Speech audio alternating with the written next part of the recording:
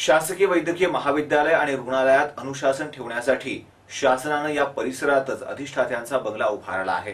परंतु अधिष्ठाता मात्र या ठिकाणी राहत नसल्यानं या बंगल्याचं खंडर झालं आहे. शासकीय वैद्यकीय महाविद्यालय आणि रुग्णालयात शांतता आणि डिसिप्लिन कायम असावं म्हणून शासनानं घाटी परिसरातच अधिष्ठात्यांच्या निवासासाठी भव्य असा बंगला बांधला आहे. सुरुवातीचे काही वर्ष या बंगल्यात अधिष्ठात्यांचा निवास असायचा. त्यामुळे या बंगल्याची स्थिती चांगली असायची.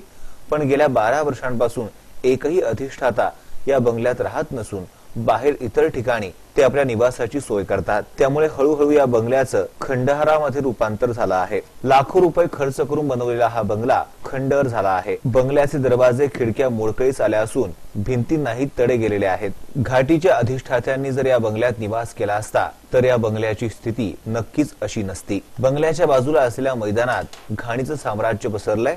तसंच या परिसराला घाटी प्रशासनानं अँब्युलन्स स्टँड बनवलं आहे. बंगल्याची शोभा वाढवणारे कारंजेही आता कचरा कुंडी झाले आहेत. लाखो रुपयांची माती कशी करायची हे यातून निदर्शनास येतं. घाटीत डॉक्टर आणि रुग्ण यांच्यात नेहमीच वादविवाद होत असतात. जर अधिष्ठात्यांचा घाटी परिसरातच निवास असला असता तर या वादविवादावर आणि घाटीतील इतर समस्यांवर त्यांचा नक्कीच अंकुश राहिला असता.